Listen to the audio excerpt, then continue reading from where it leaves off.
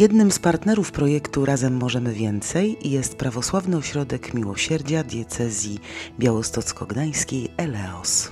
ELEOS bierze udział w projekcie Razem Możemy Więcej, lokalny program wsparcia rodzin. Jest to dla nas e, bardzo ważne, że e, możemy wziąć udział w tym projekcie, bowiem pozwala e, on nam na rozszerzenie działalności prowadzonych przez ELEOS placówek. W Białymstoku funkcjonuje pięć placówek w różnych częściach miasta. Szósta placówka znajduje się w Supraślu. Dzieci mogą korzystać z bardzo różnorodnej i bogatej oferty zajęć, jaką im proponujemy. Uczestniczył już w zajęciach z capoeiry, z robotyki, zajęciach teatralnych. Obecnie uczestniczył w zajęciach twórczych, zajęciach arteterapii, gier planszowych, zajęciach e, doświadczeń fizycznych i chemicznych, zajęciach z pedagogiki cyrku i tak naprawdę jeszcze z Weroniki Sherborn, a przed nami jeszcze od stycznia rozpoczniemy cykl zajęć treningu zastępowania agresji.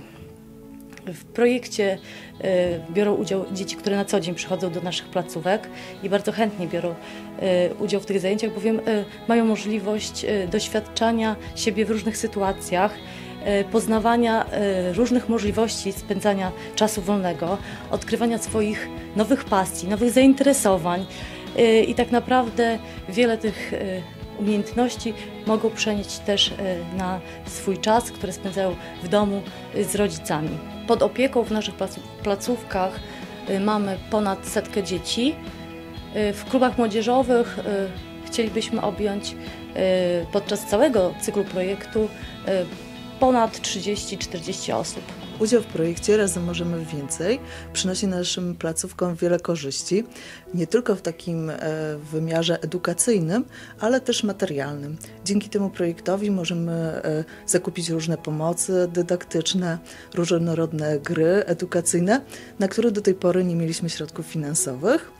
A drugim takim ważnym aspektem jest to, że dzięki temu projektowi wychowawcy mogą podnosić swoje kwalifikacje zawodowe. Dzisiaj w naszej placówce e, odbędą się zajęcia prowadzone metodą ruchu rozwijającego Weroniki Sherborn i poprowadzi je nasza koleżanka, która właśnie w ramach tego projektu tak, zdobyła dodatkowe kwalifikacje i dzięki temu możemy mieć te zajęcia u nas ruch rozwijający, czyli tak jakby dzieciaki, zwłaszcza te najmłodsze, bo to do nich jest głównie skierowana ta metoda, te ćwiczenia, powinny poznać swoje ciało, to jak one działa, kiedy się na przykład napina, co wtedy czują, prawda, jak mocno mogą na przykład spiąć mięśnie, na przykład nogi czy brzucha, tak, jak mogą się rozluźnić, co ich ciało czuje po jakimś dużym wysiłku, tak, i ta metoda nie tylko uczy jakby znajomości swojego ciała i też to, co jest bardzo ważne, to kiedy z dzieciakami ćwiczę, to nazywam ich wszystkie części ciała tak, jak się naprawdę nazywają, czyli na przykład brzuch, łopatki, żeby one po prostu znały anatomię, to jakby wszystkie części ciała, które, które mają. Oprócz tego też ćwiczymy relacje, e, na przykład z, z rówieśnikami lub z rodzicami. E, to może być relacja z, czyli wtedy na przykład próbujemy współpracować razem. To są takie ćwiczenia, gdzie wymagana jest aktywność z obu stron, żeby jakoś sobie pomóc i to ćwiczenie wyszło. Jest też na przykład relacja przeciw, wtedy to są jakieś różne takie przepychanki, sprawdzanie swojej siły i jakieś takie um, poznawanie możliwości swojego ciała, ale jednocześnie w taki sposób, żeby nie skrzywdzić tej drugiej osoby, tak? Żeby to wszystko było bezpieczne zarówno dla mnie, jak i dla mojego partnera.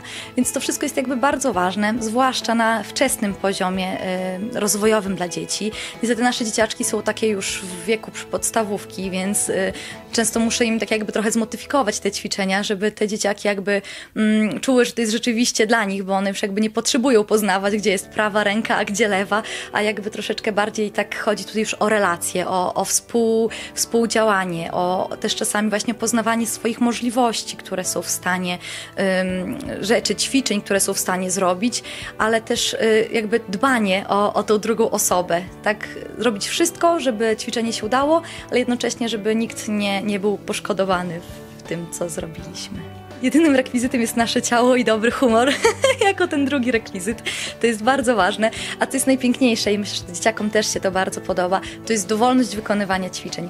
Jeśli chcą, mogą je zrobić. Jeśli uważają, że to nie jest dla nich, albo na przykład, nie wiem, wstydzą się, nie mają ochoty, mogą w każdej chwili odmówić i powiedzieć, że no nie chcą tego robić i poczekać na inne ćwiczenie, które im się spodoba. Także jest dużo śmiechu, zabawy, troszeczkę wysiłku fizycznego i, i dużo, jakby to powiedzieć, swojej własnej inicjatywy. W placówce Eleosu w Supraślu trafiliśmy na zajęcia z grami planszowymi. Nie dość, że niesie to ze sobą element rozrywki, e, dobrej zabawy, umiejętności współzawodnictwa, e, uczenia się i wygrywania, i też przegrywania, ale też niesie ze sobą bardzo duży aspekt edukacyjny, gdzie e, właśnie uczymy się logicznego myślenia, matematyki, e, matematyki właśnie przez zabawę, co, co czasami e, dzieci niesamowicie zaskakuje, tak? Uczymy się języka polskiego, ale też i geografii, biologii. Ja z grami pl- planszowymi pracuję parę ładnych lat, to w zasadzie co chwilę wchodzi coś e, nowego, co wydaje się być jeszcze lepsze, jeszcze ciekawsze, e, jeszcze dające więcej frajdy niż jakaś tam wcześniejsza ulubiona gra, więc naprawdę tutaj mówić o jakiejś jednej konkretnej grze nie da się. Zauważyłem, że tu w tej akurat konkretnej placówce y, sprawdzają się gry, gdzie faktycznie chwilę trzeba posiedzieć nad nimi, że nie tylko takie gry szybkie, y, jakieś typowo rozrywkowe, ale takie gry, gdzie trzeba trochę pomyśleć, trochę się zastanowić, tak? Być może, być może dlatego, że jest tutaj kilku starszych chłopaków. Patrząc nawet na swoją rodzinę, widzę, że y, moi synowie y, uwielbiają planszówki, uwielbiają siadać z nami y, i, i wspólnie grać. Nie dość, że, nie dość, nie dość, że jeszcze spotykamy się gdzieś tam poza domem na grach planszowych, to, to cały czas, żebyśmy usiedli razem, żebyśmy pograli, żebyśmy, nie wiem, coś wspólnie po prostu zrobili, tak? Być może nie chodzi tutaj tylko o, o same gry planszowe, ale, ale przede wszystkim o wspólnie spędzony czas, który owocuje później jakimiś pozytywnymi emocjami. Zajęcia fotograficzne są jedną z metod rozwijających i wspierających dzieci. Zajrzeliśmy do placówki przy ulicy Eliasza 3 w Białymstoku. rozstrzał, że tak powiem, e, wiekowy jest duży i nie, kła- nie kładę nacisku na technikę, y, bo dzieci, które mają 7, 8, 9 lat, y, jest to dla nich za trudne i zupełnie niepotrzebne do niczego. Bardziej interesuje mnie to, by wzbudzić w dzieciach twórczość, by ta fotografia służyła do tego, by mm, wywołać radość, uśmiech i pokazać, że tą fotografią można się bawić. Y, Mówiliśmy na przykład o, o tym, że y, fotografia może nas oszukać, że trzeba być ostrożnym, jeżeli chodzi o fotografię, szczególnie w internecie. Mówiliśmy o tym, że dzięki fotografii można zyskać przyjaciół, można się otworzyć na świat i można y, zdobyć pewność siebie. Dzisiaj porozmawiamy o tym, że na fotografii można uchwycić uczucia i emocje, co to są uczucia, co to są emocje. Mówimy o tym też, że em, fotograf i nie tylko fotograf posiada pewnie, pewne cechy, które są istotne w życiu. Ja szczególnie tutaj kładłem nacisk na dwie. Y, skupienie oraz y, pewność siebie. Bo y, nie każdy jest y, aż tak odważny. Warto w sobie próbować y, wywołać tę odwagę, by być odważniejszym w życiu. Fotografia y, może w tym pomóc. Większość dzieci jest zainteresowana sportem. Generalnie lubią sport, y, dlatego ja próbuję przemycić takie y, pierwiastki aktywności y, ruchowej, na przykład na tle fotograficznym, za aparatem, przed aparatem, krew, żeby krążyła w, głowie i żeby to skupienie było nie tylko poprzez jakieś działanie samej inteligencji, ale też ru, ruchu. W świetlicy przy ulicy Dojnowskiej 80D w Białymstoku sprawdziliśmy, jaką wartość w rozwoju dziecka może mieć pedagogika cyrku. poprawa współpracy lewej i prawej półkuli mózgowej poprzez e, sztukę żonglowania. Dzieci e, naprzemienne ruchy wykonując e, tworzą połączenia synaptyczne między lewą a prawą półkulą i dzięki temu jest e, lepsze połączenie logiki z wyobraźnią, bo jedna półkula mózgowa odpowiada za logikę, druga za wyobraźnię. Dzięki temu, że e, współpracują te dwie półkule razem, dzięki temu i nauka idzie lepiej, percepcja w ogóle, postrzeganie świata jest lepsze i logiczne i wyobrażeniowe jednocześnie, więc ta pedagogika cyrku E, to taka pochodna trochę neurodydaktyki, więc e, jest to i dobry sposób na spędzenie czasu wolnego, ale też i e, po cichu nawet dzieci może sobie tego do końca nie uświadamiają, że rozwija się ich potencjał umysłowy. Ponieważ każdy z nas ma różne połączenia synaptyczne, ponieważ każdy z nas ma różne doświadczenia też życiowe, więc każdy ma swój, swoje problemy, tak? Z, e, z nauczeniem się tego. E, czasami e, szybciej dzieci łapią niż dorośli. Czasami są problemy ze zwykłym złapaniem piłki, bo rączka jest za mała. Czasami chusteczka jest za długa, więc problemy są różne ale generalnie dzieci, y, jeżeli tylko chcą się poprawić trochę, jeżeli chcą, e, jeżeli złapią bakcyla, to mają ochotę e, iść dalej i e, nawet te trudności to tak myślę, że to jest nawet taka dobra sprawa te trudności, bo umiejętność pokonywania problemów, umiejętność pokonywania trudności i y, swoich własnych słabości to jest jedna, jeden z elementów pedagogiki cyrku, że umiem pokonywać e, swoje słabości. To są różne formy z tego względu, że e, e, można się nauczyć żonglować piłeczkami, można się nauczyć żonglować chusteczkami, ale tu też chodzi o koordynację wzrokowo-ruchową, więc talerzyki jak najbardziej, umiejętność przyglądania się talerzykowi, który się rozkręca, jednocześnie dłoń, która, na którą się nie patrzy, a która wie, jak ma funkcjonować, tak? Y, patrzymy na talerzyk, ręka i tak robi swoje, więc e, koordynacja e, wzrokowo-ruchowa jest jak najbardziej tutaj kolejnym elementem, który, który chcemy, że tak powiem, dzieciom zaaplikować.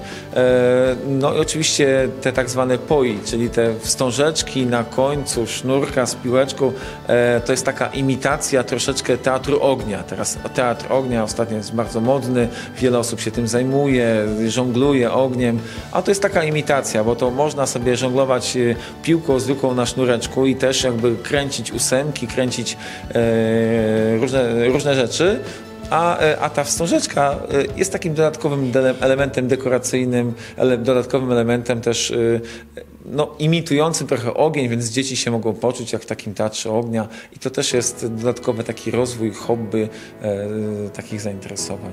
Następnym miejscem, które prezentujemy jest świetlica przy ulicy Pietkiewicza 2C łamane przez 2 w Białymstoku. Artyterapia to są zajęcia, które e, jakby pozwalają dzieciom doświadczać różnych swoich niedoskonałości, różnych przez, przez sztukę, przez doświadczanie z, z muzyką, z plastyką, e, z teatrem i z różnymi innymi środkami. Dzisiaj dzieciaki e, odrysowywały na zajęciach swoje dłonie i później z tych dłoni jakby w dalszej części będziemy tworzyć łąki, na których dzieciaki będą napisywać, wypisywać uczucia do swoich, znaczy to co lubią w swoich e, kolegach i koleżankach. Dzieciaki podczas takich zajęć e, artysterapeutycznych mogą się troszeczkę e, wyładować i, i e, jakby wy, wypompować swoje emocje i swoje złości i myślę, że to ma przeładowanie na to, że lepiej funkcjonują w domu i, i wśród swoich rodzin. Co dzisiaj robiłeś, Kuba, podczas zajęć? Akurat wycinałam aż 12 rąk. Rąk? Jak tak. ci szło to wycinanie? No, czasami szybciej, czasami wolniej. Tak różnie. A skąd brałeś ten zarys tych rąk? Rysowaliśmy. A no jak? Skąd? Gdzie wzór? Kartka, kładziemy rękę i odrysujemy. Tym razem podpatrywaliśmy pracę w świetlicy przy ulicy Warszawskiej 47. Placówka działa od poniedziałku do piątku w godzinach od 13 do 18 e, i działania są adresowane do rodzin dysfunkcyjnych i dzieci pochodzących z tych rodzin. E, główne zajęcia to są zajęcia w placówce tutaj na miejscu. Pracujemy z dziećmi. Taki typowy plan dnia polega na tym, że dzieci po szkole przychodzą do placówki. E, my pomagamy im w odrabianiu lekcji, w wyrównywaniu wszelkich braków edukacyjnych z poprzednich etapów edukacji. Później jest czas na wspólne zajęcia. Są to różnego rodzaju zajęcia. Przewidziane też programem pracy placówki, ale również zajęcia dodatkowe w ramach projektu Razem Możemy Więcej. Zajęcia twórcze, takie, które właśnie teraz w międzyczasie mają miejsce. E, po tym wszystkim mamy wspólny posiłek, przy którym omawiamy bieżący dzień i nasze bieżące problemy na terenie placówki i na koniec dzieci e, sprzątają placówkę, żeby ją pozostawić w czystości na kolejny dzień, kiedy, kiedy one przyjdą tutaj do czystej, pięknej placówki. Nasza placówka obejmuje 15 dzieci, to jest około 8-9 rodzin. Bardzo często są to też rodzeństwa, dlatego tych dzieci jest więcej aniżeli rodzin. E, staramy się objąć całe rodziny, rodzice też korzystają z mobilnego punktu wsparcia, który prowadzimy e, i e, głównie dzieci korzystają z projektu tutaj na miejscu w formie tych zajęć dodatkowych. Pracę z rodziną kontynuujemy my jako wychowawcy tej placówki i staramy się e, co miesiąc spotykać z rodzicami, też prowadzić dla nich warsztaty umiejętności wychowawczych, więc e, rodzice są również przez nas zaopiekowani. Pracujemy z rodziną całościowo w takim ujęciu systemowym, więc, więc zarówno jak i dzieci, tak i rodzice są przez nas zaopiekowani. Dzisiaj z okazji Mikołajek robiliśmy e, Mikołaje i prace, które dzieciaki będą mogły wykorzystać dla, dla swoich znajomych, najbliższych, jako po prostu prezenty. E, wykorzystujemy materiały te, które już są e,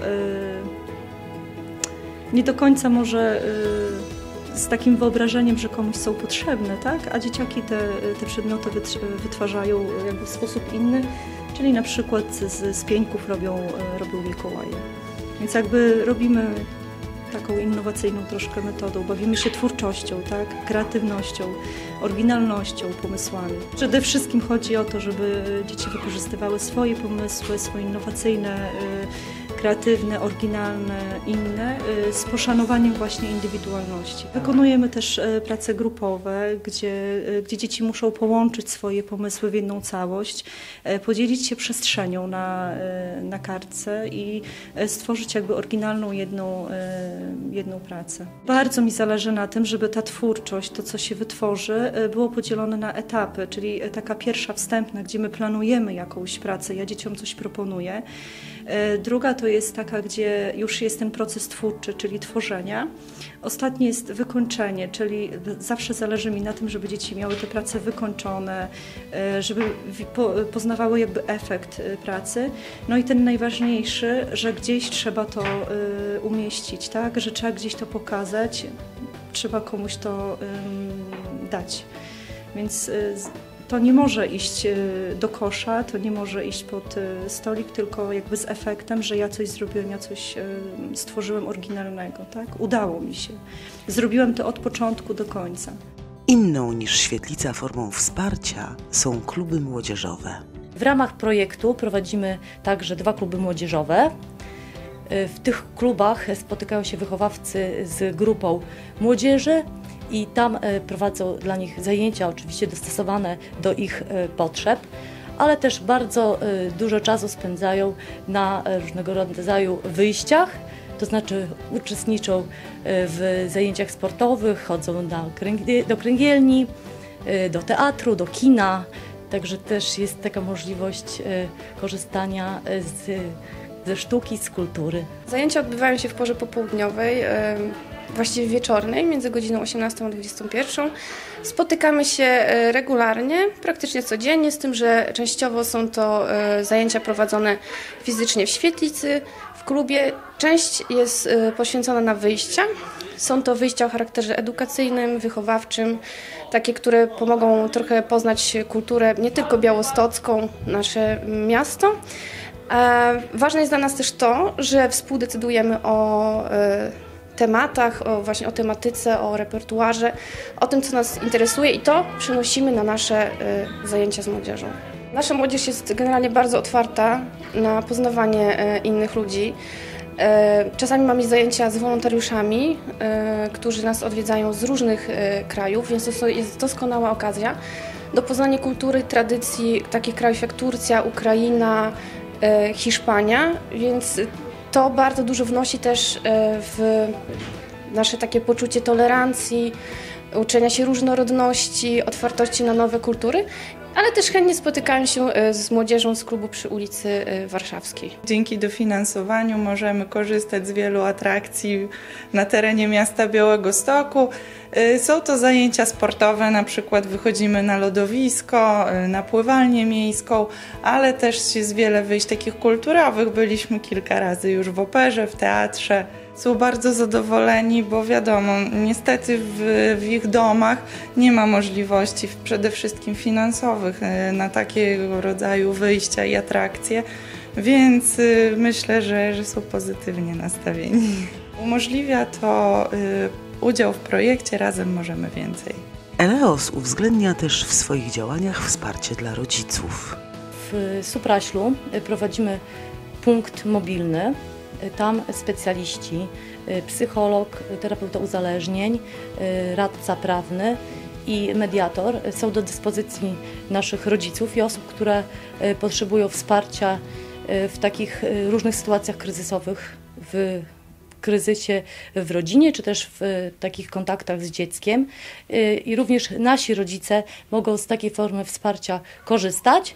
Y, Dodatkowo wiem też, że rodzice korzystali z zajęć w ramach Akademii Rodzica prowadzonych właśnie w projekcie. Jak się okazuje, wsparcie i rozwój dzieci i młodzieży z wykorzystaniem metod artystycznych ma sens.